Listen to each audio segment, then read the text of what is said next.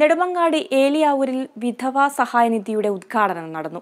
കർമ്മലത ദേവാലയ തിരുനാൾ മഹോത്സവത്തിന്റെ ഭാഗമായാണ് വിധവാ സഹായനിധി രൂപീകരണം നടന്നത്.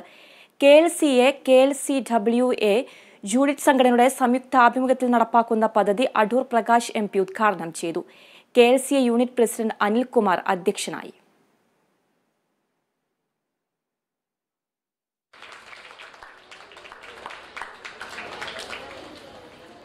ഏത് തരത്തിൽ കൈപിടിച്ചുയർത്തിക്കൊണ്ട്